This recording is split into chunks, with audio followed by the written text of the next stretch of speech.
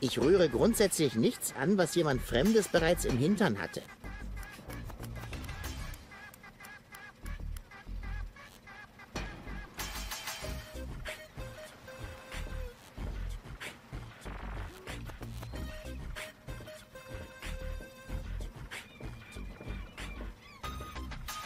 Stoßstange.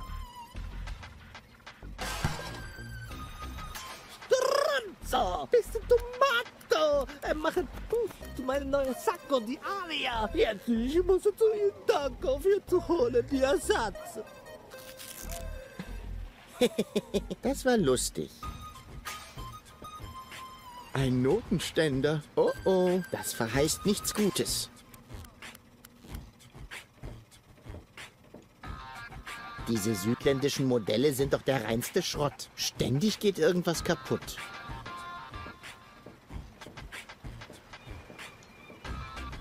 Für ein hässliches Nest. Das muss zu einem extrem hässlichen Vogel gehören. Wen haben wir denn da? Wenn das nicht der Neuankömmling ist, von dem alle reden. Tun Sie das? Wird ja auch Zeit. Die Geschichten von meinen Heldentaten sind alle noch untertrieben. Wir sind nicht interessiert an Märchen. Du hast etwas, das wir haben wollen. Zu dumm. Mit gutem Aussehen muss man geboren werden. Wir reden von den geheimen Aufstiegscodes. Die Aufstiegscodes? Nur über meine Leiche. Wartet, lasst mich das umformulieren. Oh oh. Äh, Er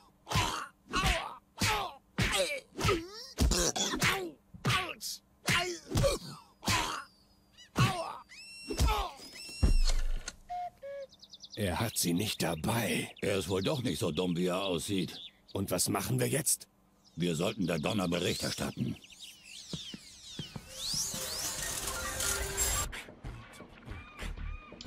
au. Warum? Nette Leute trifft man hier. Ich sollte etwas bescheidener auftreten. Ich muss ja zum Gadget Stop. Zum Gadget Shop. Die will ich nicht. Es sind ziemlich mickrige Köder. Kein Vergleich zu meinem epischen Walköder aus phosphoreszierenden Sardellen. Was habe ich eigentlich damit gemacht? Ich erinnere mich, ihn an Bord mitgenommen zu haben. Was war es noch gleich, was ich nicht mehr mit Gläsern voller Haken tun wollte? Ach ja, reingreifen. Aua.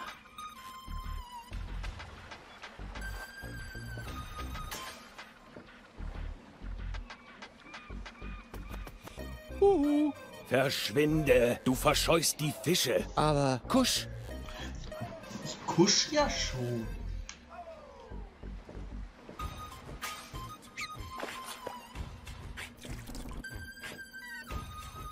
Habe ich noch was im Bosus Kutter zu suchen?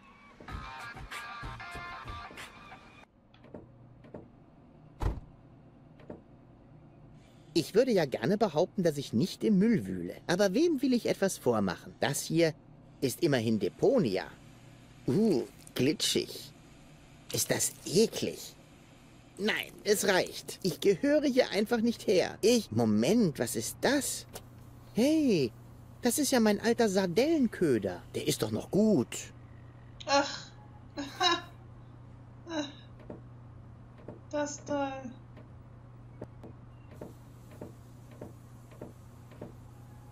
Ich kann nicht hier weg. Nicht ohne Goal.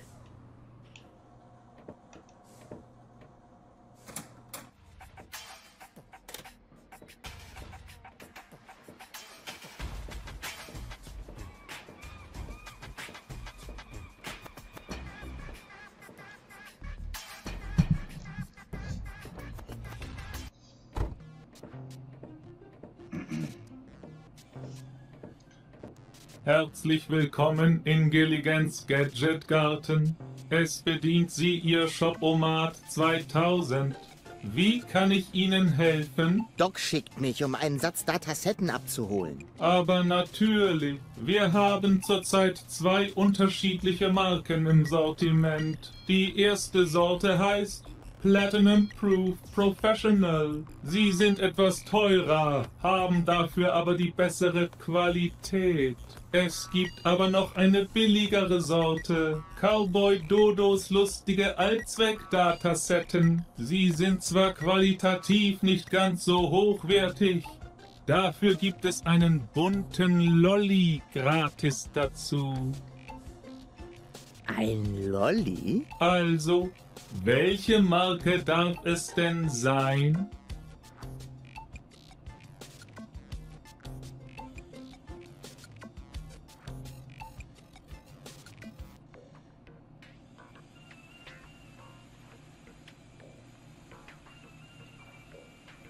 Hm. Sind es auch wirklich die guten Datasetten? Natürlich. Immerhin geht es hier um Golds Bewusstsein. Hm. Na, dann kann es ja losgehen. Hat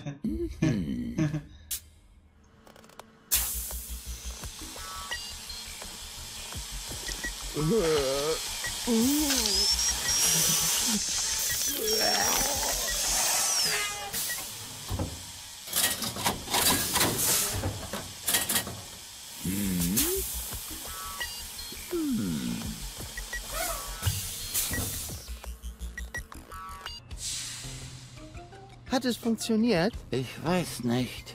Irgendwas stimmt nicht. Rufus? War ja klar. Warum drängt sich eigentlich immer, wenn ich dich sehe, dieselbe Frage auf? Wer ist der gut aussehende Typ in dem Mantel? Wo bin ich hier? Weil dich meine magnetische Ausstrahlung orientierungslos macht. Im Ernst, wohin hast du mich diesmal verschleppt? Und warum stinkt es hier so? Das ist hier der schwimmende Schwarzmarkt. Du bist in Sicherheit. Sicherheit? Rufus, ich war gerade auf dem Weg nach Elysium. Okay, schon, aber mit dem Falschen. Cletus wollte mir helfen. Und du traust diesem verlogenen Schmierlappen? Tja, wem glaube ich wohl eher? Meinem Verlobten oder seiner billigen Imitation? Was ist denn bloß los mit dir? Was los ist? Ich wache auf und finde mich in einem stinkenden Folterkeller wieder. Das ist los. Mich juckt es bereits überall, nur weil ich diese schadstoffverseuchte Luft atmen muss. Oh, mir wird übel. Ich muss hier raus.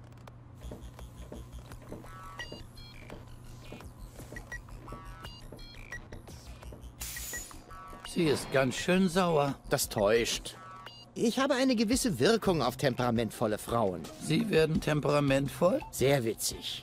Aber sie kam mir tatsächlich ein wenig biestig vor. Bist du sicher, dass du bei ihr nichts durcheinander gebracht hast? Ich glaube, ich habe tatsächlich eine Erklärung. Die Datasette wurde nicht vollständig beschrieben. Fast so, als wären es die billigen gewesen. Nicht billiger als deine Ausreden. Wie es scheint, wurde ihr Bewusstsein in drei Teile gespalten. Die Frau, die da gerade aus dem Labor gestapft ist, ist also nur ein Teil von Goal? Und nicht der angenehmste, wie ich hoffe. Echt mal, Doc. Ich dachte, du bist ein Fachmann. Es ist nichts, was sich nicht wieder reparieren ließe. Dazu brauche ich allerdings alle drei Datasetten. Also auch die, die jetzt gerade in ihrem Implantat steckt. Außerdem kann ich den Eingriff nicht ohne die Unterstützung der Patientin vornehmen. Also müssen alle drei Teile von Gold kooperieren, bevor ich mit der Operation loslegen kann. Na, so wie die gelaunt ist, ist sie bestimmt ganz begeistert, sich nochmal den Schädel aufklappen zu lassen. Ja, vielleicht fängst du lieber mit einem anderen Teil ihres Charakters an. Nimm die zwei Datasetten, die noch im Auswurfschacht liegen. Und das hier. Was ist das? Eine Fernbedienung? Nicht ganz. Siehst du das Fach an der Rückseite? Leg einfach eine der anderen Datasetten ein und drück den Knopf, wenn du in Golds Nähe bist. Sag ich doch, eine Fernbedienung. Es ist schon etwas komplizierter. Die Daten werden in einen Puffer geschrieben und... äh, Ich kann zwischen zwei Charakteren hin und her seppen. Nein. Ja, so ähnlich, aber... Wie bei einer Fernbedienung. Genau. Wie bei einer Fernbedienung. Cool. So eine hätte ich mal für Toni haben sollen. Beeil dich, Rufus. Je länger sich die einzelnen Charaktersplitter an ihre Selbstständigkeit gewöhnt haben, umso schwieriger wird es, sie zur Operation zu überreden. Suche Goal und überzeuge sie. Alle drei Teile von ihr. Ich bereite hier schon einmal alles weitere vor. Na dann, auf Ich frag mich geht's. ja, wozu dieses Kreissägen-Ding da vonnöten gewesen ist. Aber okay. Hm. Ja, ja, ja. ja.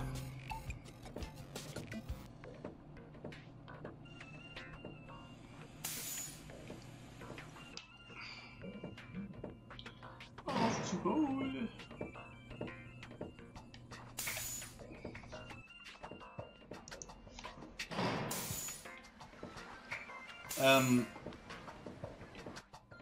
Steuerung halt, ne?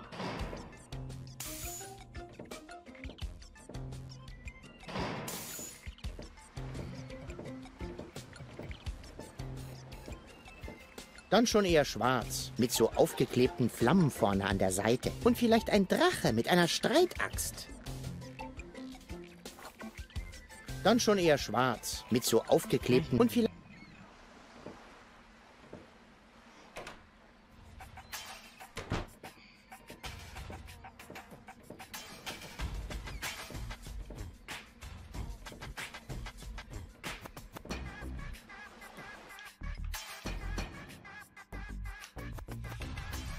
So, klein Venedig.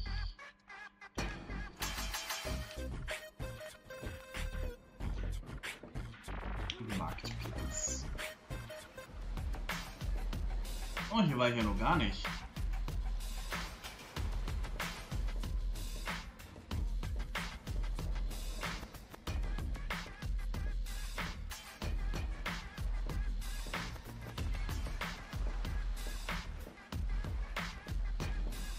Zum Apotheke.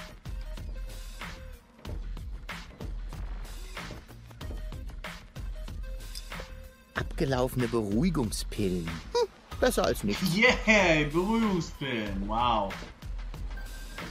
Was? Wo? Was verkaufst du hier? Was verkaufst du hier? Wonach sieht es denn aus? Tja. Nein, im Ernst. Wonach sieht es aus? Ich bin blind, weißt du? Ich sehe hauptsächlich bewusstseinsverändernde Substanzen, illegale Drogen und fragwürdige Medikamente. Puh, dann ist ja alles in Ordnung. Das hier ist mein Drugstore. Scheinbar. Was kann ich für dich tun? Ich würde gerne was kaufen. Oh, das ist gut. Das ist sehr gut. Was soll's denn sein? ich hätte gerne einen plus 5 Heiltrank. Ich hätte gerne einen plus 5 Heiltrank. Die sind leider alle. Aber ich hätte etwas Gegengift im Angebot. Nee, lass mal. Dann spare ich lieber. Was ist in der Flasche da hinten? Unverdünntes Ethanol mit Frostschutzmittel. Schmeckt eigentlich ganz okay. Ich habe das früher oft getrunken, aber irgendwann habe ich die Flasche nicht mehr gefunden. Hast du Beruhigungspillen? Ja, aber nur auf Rezept. Ja, ich habe hier ein Rezept. Das ist kein Rezept. Das ist ein abgerissener Knopf von deinem Mantel. Bist du dir da ganz sicher? Hör mal, ich mag blind sein, aber ich bin nicht blöd. Das kann man so oder so sehen. Gibt's irgendwas umsonst? Nicht wirklich. Das Einzige, was ich dir anbieten könnte, wäre das Probeexemplar Ja. von diesem neuen Gewächs. Es enthält Right. diverse So. bewusstseinsverändernde Substanzen, die noch niemals an Das Menschen getestet wurden. Höchst gefährlich.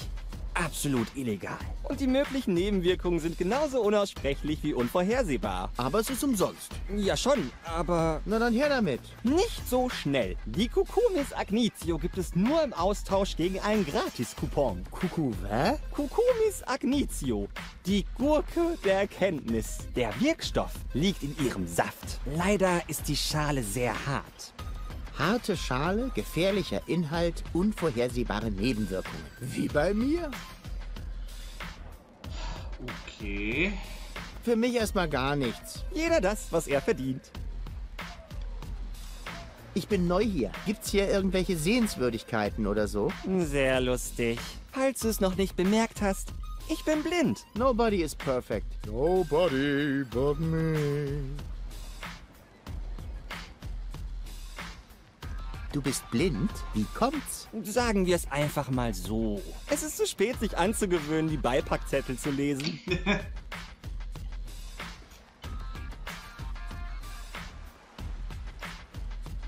Von hier aus hat man einen guten Überblick über den Marktplatz. Ah, das erklärt eine Menge der Geräusche, die ich in letzter Zeit so höre. Was gibt's denn zu hören? Irgendwelche Neuigkeiten oder Gerüchte? Tja, da muss ich dich wohl enttäuschen. Diese rhythmische Hintergrundmusik übertönt alles. Außer die gelegentlichen Jubelrufe aus Richtung der Arena. Warst du kürzlich in Bellevue? Lustig. Diese Musik ist mir auch schon aufgefallen. Ich wünschte, man könnte sie einfach irgendwie ausschalten. Mir ist nämlich das Ohrwurmspray ausgegangen.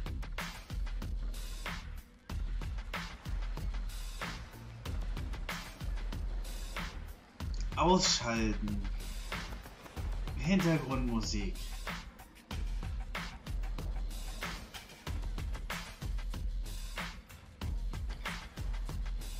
Spielt das Rätsel spielt hier wirklich, also gibt es hier wirklich ein Rätsel, was von mir verlangt, die Musik auszuschalten, damit ich irgendwas interagieren kann? Warte mal, was ist denn das? Haha.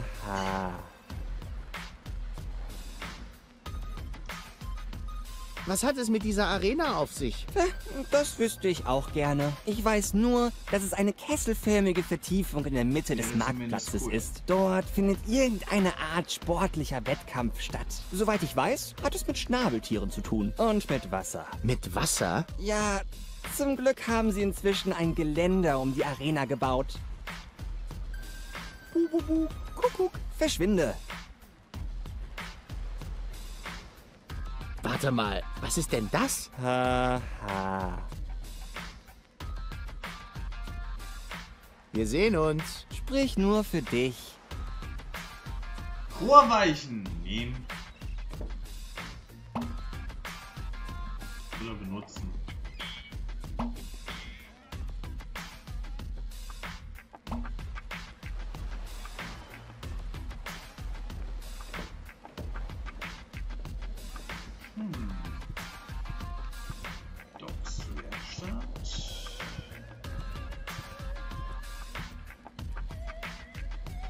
Dunkle Gassen in den Hafen. Bellevue. Was soll das denn? Ein Gitter? Hey! Hallo! Was heißt denn hier Burg? Frechheit.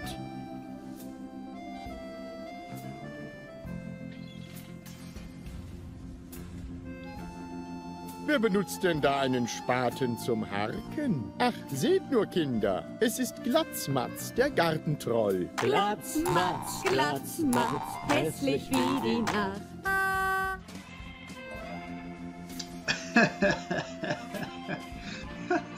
Zu geil. Noch einmal.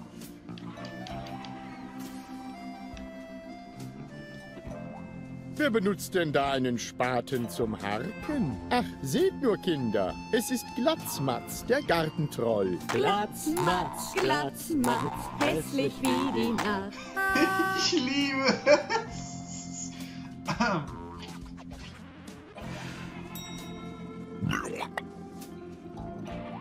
Go, go! Rufus Gummiarm! Tja, also sonst klappt das immer. Gummiarm, was? Mein botanisches Expertenwissen verrät mir, dass das hier eine ähm, Pflanze ist. Wow, Rufus. Hätte ich jetzt nicht gedacht. Go, go! Rufus Gummiarm! Tja, also sonst klappt das immer.